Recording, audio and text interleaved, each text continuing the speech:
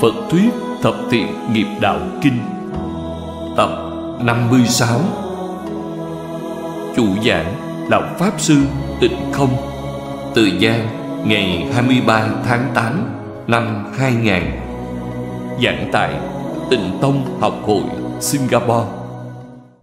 Chư vị đồng học, chào mọi người.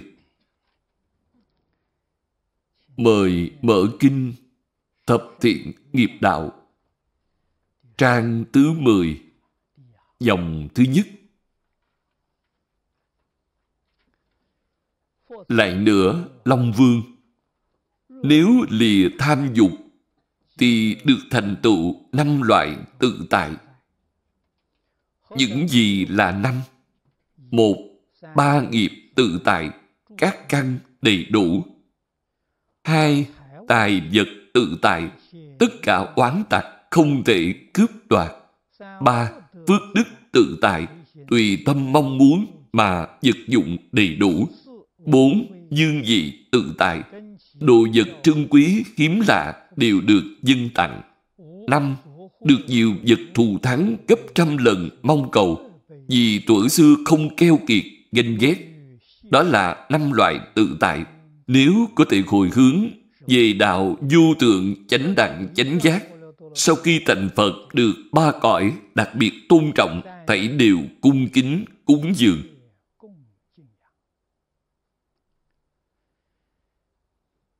Ý của đoạn này sâu rộng vô cùng.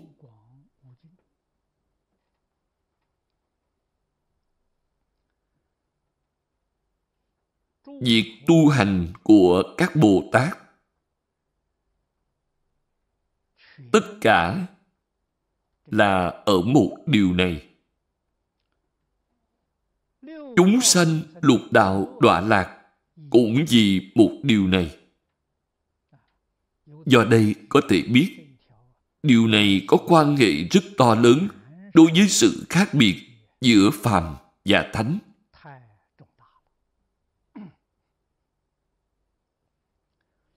Trong tất cả kinh giáo Thế Tôn nói với chúng ta, tham sân si là ba độc phiền não, là căn bản của vô lượng vô biên phiền não. Tuy là nói ba thứ tham sân si, ba thứ này nếu quy thành một thì chính là tham. Cho nên bậc dạy bồ tát trong sáu điều nguyên tắc tu học. Thì điều thứ nhất chính là bố thí. Bố thí là để đối trị tham dục.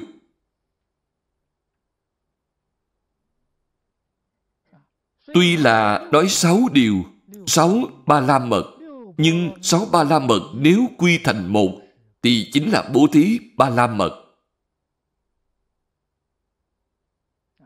Đại Thánh, Đại Hiền Thế xuất thế gian. Vì sao các ngài có thể trở thành thánh gì vậy? Vì lìa được tham dục. Gốc của tham dục nhổ đi rồi thì người này thành Phật. Thật sự chịu nhổ bỏ nhưng vẫn chưa nhổ sạch thì người này được gọi là Bồ Tát. Phàm phu không những không lìa, mà mỗi ngày một tăng trưởng. Tăng trưởng tham dục chính là tăng trưởng cơ hội đọa lạc vào ba đường ác. Lìa khỏi tham dục chính là rời xa đường ác. Chúng ta phải hiểu rõ chân tướng sự thật này. Hay nói cách khác đời người ngắn ngủi. Cho dù sống đến một trăm tuổi, cũng chẳng qua là sự việc trong một sát na. Sau một trăm năm, thời gian còn dài. Làm thế nào đây? Sẽ đi về đâu? Người thông minh không thể không suy nghĩ. Cho dù trước mắt bạn được phước báo như mong cầu, nhất định không phải từ trong tham sân si mà có được. Tham sân si chỉ có giảm phước, không thể tăng phước. Phước báo mà đời này có được là do nghiệp nhân đã tu trong đời quá khứ, do đã tu nhân tiện. Ác nghiệp tạo ra trong đời này thì quả báo sẽ ở đời sau. Nhân quả thông ba đời, đây là đạo lý nhất định.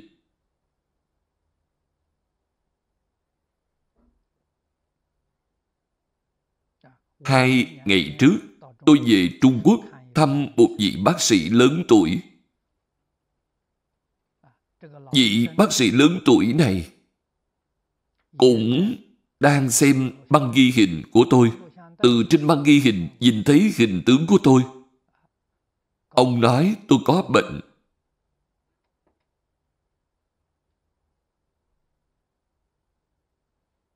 Sau khi tôi nói chuyện với ông một lát thì biết ông thực sự có trình độ.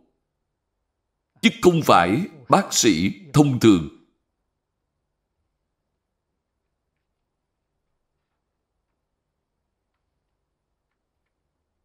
Ông sẽ hỏi, ngày tháng năm sinh của bệnh nhân? Sẽ hỏi, bệnh nhân sinh ra ở nơi nào? Đây là điều mà chúng ta chưa từng thấy ở Đông Y, Tây Y bao giờ. Đây là đạo lý gì vậy? Là bản chất của cơ thể bạn. Rất có đạo lý.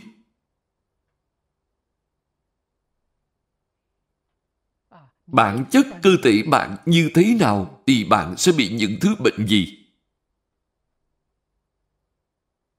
Đây là xem từ gốc rễ. Trong Phật Pháp nói về gốc rễ này còn sâu hơn. Đó là những nghiệp thiện ác mà bạn đã tạo trong đời quá khứ. Ông ấy nói đến nơi được sinh ra, từ gian ra đời, để quan sát bản chất, thể chất của bạn. Việc này khá cao minh. Ông nói cho tôi biết về đạo dưỡng sinh, ẩm thực khỏe mạnh nhất là thực phẩm sinh trưởng tại bản địa. Là thực phẩm sinh trưởng trong một tháng này. Đây là thức ăn dinh dưỡng nhất. Chúng ta ngày nay thích ăn thực phẩm của nước ngoài, mùi vị rất ngon, nhưng sẽ bị bệnh. Vì không tương ưng với thể chất của chúng ta thực phẩm sinh trưởng ở vùng đất nào thì nuôi dưỡng người ở địa phương đó. Chúng ta nhập gia phải tùy tục, đến địa phương đó phải ăn thức ăn ở nơi đó. Đây là khỏe mạnh nhất.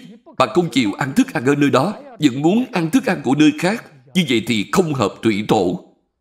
Bạn sẽ bị bệnh. Những đạo lý này rất cao minh.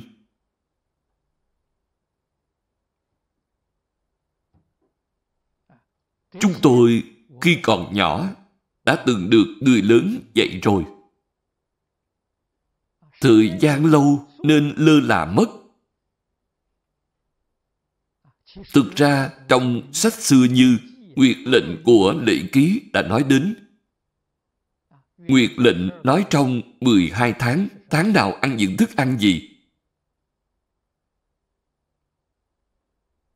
Nhưng phải nhớ kỹ là nhất định phải ăn những thứ sinh trưởng ở bản địa. Những thứ sinh trưởng ở khu vực này nhất định sẽ có lợi ích đối với cơ thể của bạn. Đây là đạo dưỡng sinh. Bạn biết dưỡng sinh mà không biết dưỡng tâm. thì không thể trừ sạch gốc bệnh của bạn. Tâm phải như thế nào? Thanh tịnh, bình đẳng, từ bi.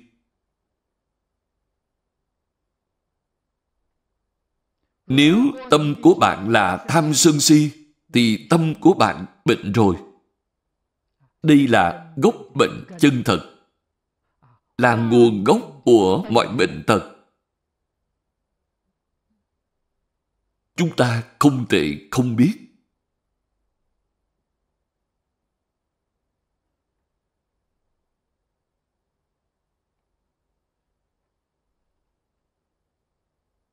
Bác sĩ nói với tôi, trong người tôi bị phong hàn. Khi trở về, tôi nói với mọi người, khi ngủ, nhất định không được mở quạt, nhất định không được mở máy lạnh. Gốc bệnh từ đây mà ra. Tôi hiểu đạo lý này. Khi còn nhỏ người lớn nói với tôi, khi ngủ, ngay cả quạt tay cũng không được dùng. Vì khi đang ngủ, thì toàn bộ lỗ chân lông của bạn mở ra, nên rất dễ bị nhiễm lạnh. Không bị bệnh thì không biết. Đến sau tuổi trung niên, bệnh phát ra thì rất khó chữa trị. Bệnh phong hàn này sẽ tổn thương thận và gan của bạn phá hoại hệ thống gồm rất nhiều cơ quan ở bên trong. Đây đều là do trong sinh hoạt không cẩn thận, không chú ý. Tâm địa chúng ta rất thanh tịnh, đọc sách, ngồi thiền. Tại sao ngồi thiền trên người phải khoác áo kỹ như vậy? Bởi vì cơ thể bạn ở trạng thái tĩnh. Trạng thái tĩnh thì sợ gió nhất, cho nên khi chúng ta đang đọc sách trong trạng thái rất tỉnh thì không được bật máy lạnh, không được dùng quạt điện. Khi cơ thể bạn đang hoạt động thì không sao cả. Thân thể của bạn đang động, nên lúc này không sao cả. Nhưng khi tĩnh lặng thì không được phép, chúng ta đã lơ là điều này. Cho nên bác sĩ nói với tôi, hiện nay bệnh này rất phổ biến, gọi là hội chứng điều hòa. Những người ở lâu trong phòng điều hòa đều sẽ có chứng bệnh này. Cho nên chúng ta nhìn thấy người bị bệnh nặng, có sắc mặt trắng bệch hoặc bộ mặt chuyển đen, thì khá là nghiêm trọng rồi. Trên mặt không tươi nhuận.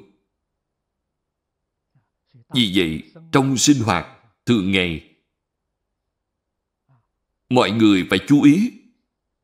Không nên ham mát. Ham mát là mất mạng.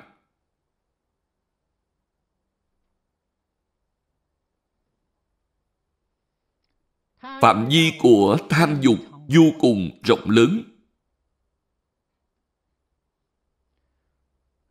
Đặc biệt là danh văn, lợi dưỡng, ngũ dục, lục trần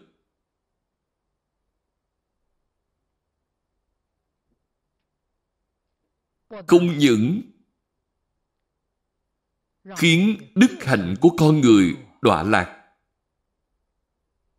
mà nó còn là nhân tố đứng đầu của ba đường ác.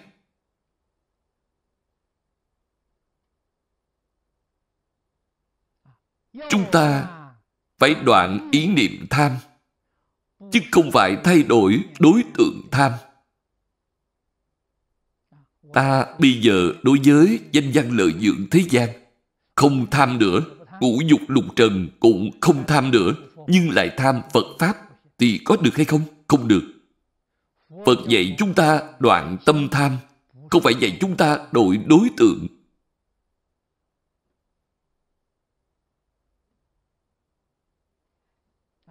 Kết quả của đổi đối tượng là bạn tham điều xấu ác thì bạn đọa ba đường ác. Bạn tham thiện pháp thì sanh ba đường thiện. Không thể thoát khỏi lục đạo luân hồi. Nói thêm với quý vị, bạn niệm Phật sẽ không thể giảng sanh. Điều này có quan hệ rất lớn.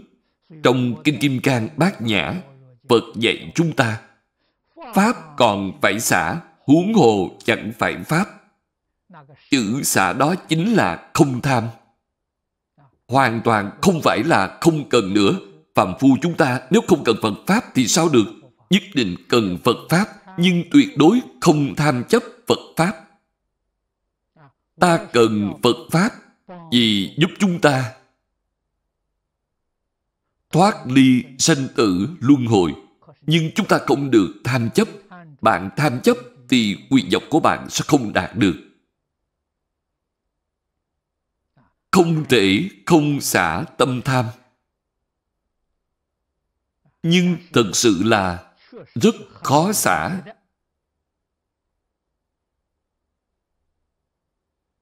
Vì sao khó xả vậy? Tập khí của con người đối với danh văn lợi dưỡng, ngũ dục lục trần quá sâu. Vô lượng kiếp đến nay đã bị những tập khí phiền não này huân tập. Hiện nay trong phút chốc muốn đoạn hết chúng, nói sao dễ vậy?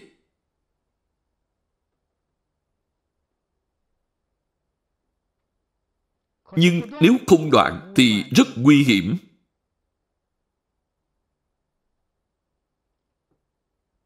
Vấn đề này còn nghiêm trọng hơn vấn đề sanh tử.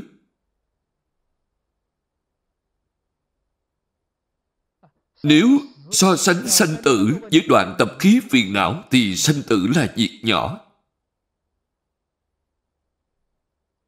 Đoạn tập khí phiền não là việc lớn.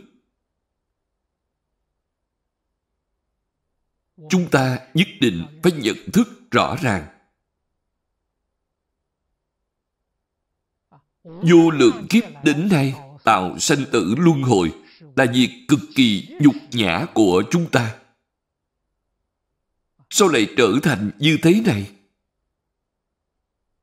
Vì sao người khác thành thánh, thành hiền, làm Phật, làm Bồ Tát mà chúng ta vẫn còn trôi lăn trong lục đạo? Ở đây nhân tố đứng đầu chính là không buông được tham sân si. Cho nên vĩnh kiếp không thoát khỏi tam giới luân hồi. Nguyên nhân ở chỗ này.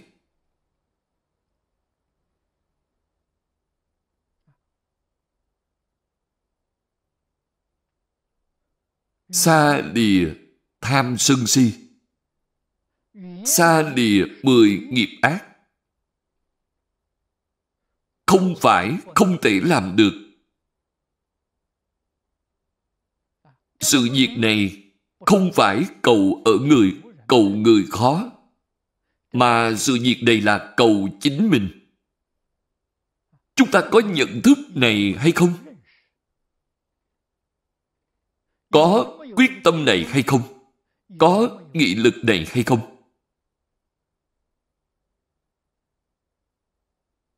Ba việc này, đặc biệt nhận thức là việc đứng đầu.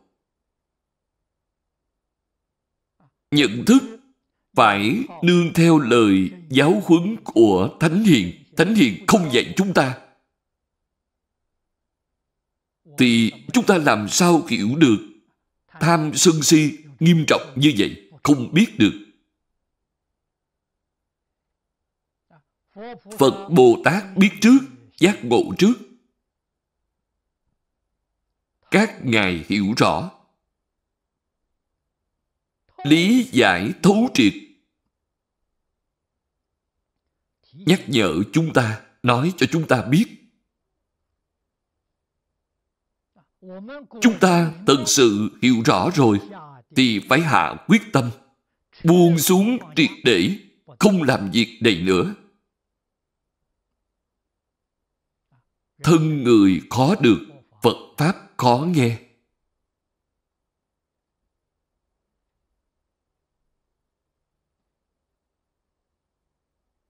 Trong kệ khai kinh đã nói trăm ngàn muôn kiếp khó gặp được. Thực sự là trăm ngàn muôn kiếp mới gặp được một lần. Không phải dễ dàng gặp được. Chúng ta đời này có được thân người, nghe được Phật Pháp. Đây là trong trăm ngàn muôn kiếp gặp được một lần như vậy. Nếu không nắm chắc cơ hội này, nhưng lúc trong mấy chục năm ngắn ngủi của đời này mà hạ quyết tâm từ bỏ tham sân si mạng từ bỏ sự hưởng thụ danh văn lợi dưỡng ngũ dục lục trần thích ca mâu ni phật từ bi đã làm ra tấm gương cho chúng ta thấy.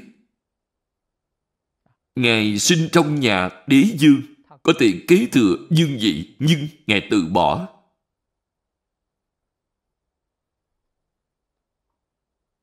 Địa vị cao quý như vậy, ngài cũng không cần từ bỏ phú quý, từ bỏ vợ con.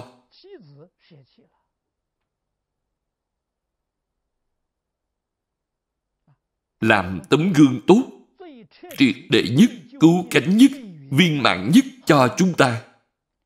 Danh văn lợi dưỡng ngũ dục lục trần, mép rìa cũng chẳng dính. Trải qua đời sống cất thực, ăn một bữa giữa ngày, ngủ một đêm dưới cây. Ngày sống, đời sống này, đây là dạy chúng ta điều gì vậy? Triệt để lìa xa, tham sân si mạng thì chúng ta mới có ngày ngoi đầu, vĩnh viễn thoát khỏi luân hồi. Các vị phải biết rằng, tham sân si mạng là nhân của luân hồi. Lục đạo luân hồi là quả báo của tham sân si mạng. Bạn có thể lìa khỏi nhân rồi. Thì quả này vĩnh viễn sẽ không hiện tiền. Dứt sanh tử, xuất tam giới, thoát luân hồi. Ở ngay tại nhận thức này, bạn có thực sự nhận thức hay không? Có thực sự hiểu rõ hay không?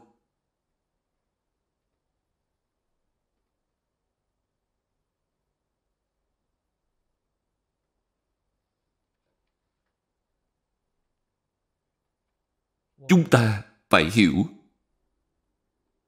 Phật ở đây nói với chúng ta Thực sự xa lìa rồi Thì giống chư Phật Bồ Tát vậy. Bạn sẽ thành tựu năm loại tự tại. Năm loại tự tại Là điều mà tất cả chúng sanh Đều hâm mộ, Đều hướng đến. Năm loại tự tại này là quả báo.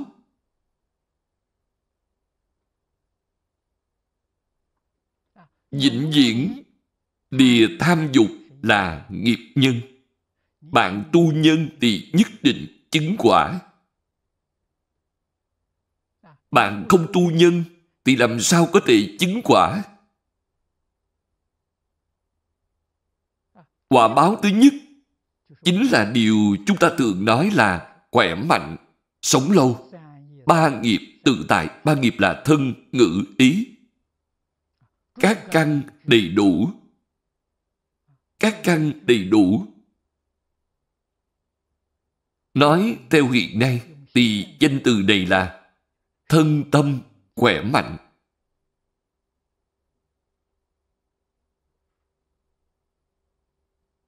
Cơ thể của bạn không có mảy may khiếm khuyết.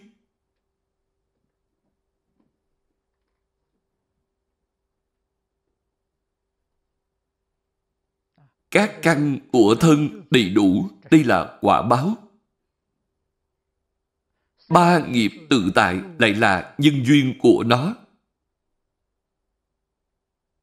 Thế nào gọi là ba nghiệp tự tại? Tự tại là không có phiền não. Bạn có phiền não là bạn không tự tại. Bạn có lo lắng là bạn không tự tại. Bạn có dính mắt là bạn không tự tại. Thân tâm thanh tịnh thì mới tự tại. Trong đời sống thường ngày, một vọng niệm cũng không sanh. Thế nào gọi là vọng niệm? Nhất định phải hiểu rõ ràng. Vì bản thân thì đều là vọng niệm.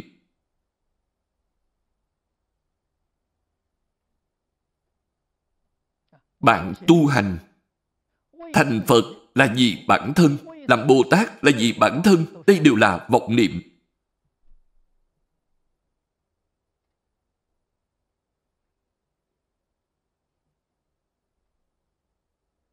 Phật dạy chúng ta không vọng niệm Không vọng niệm thì phải có chánh niệm Chánh niệm là gì vậy? Chánh niệm không phải là không có niệm, mà chánh niệm là không có vọng niệm. Chánh niệm là vì tất cả chúng sanh. Ta tu hành là vì tất cả chúng sanh. Ta thành Bồ Tát là vì tất cả chúng sanh. Ta thành Phật cũng là vì tất cả chúng sanh. Vì tất cả chúng sanh thì niệm này là chánh niệm. Vì từ tư từ lợi thì đều là vọng niệm, đều là tà niệm.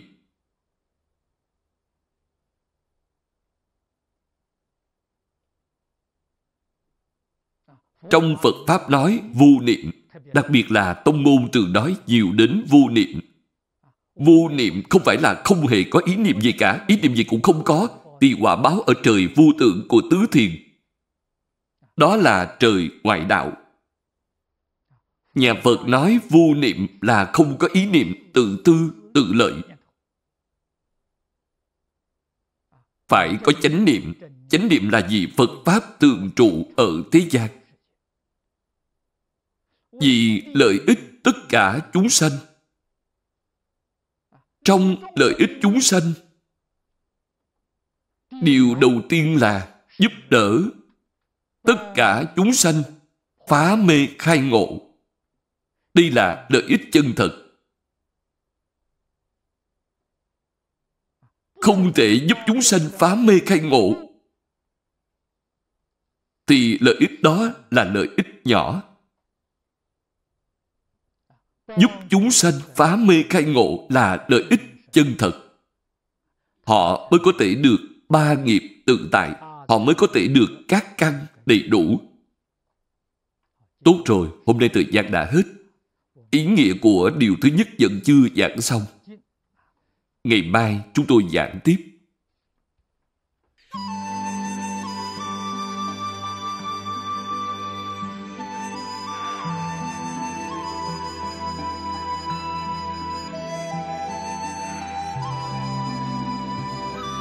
dưới cứu khổ ba đường nếu có ai thấy nghe, đều phát tâm bồ đề, hết một báo thân này đồng sanh cõi cực lạc. Di đà phật. Việc dịch, ban biên dịch, pháp âm tuyên lưu, diễn đọc phật tử thiền quang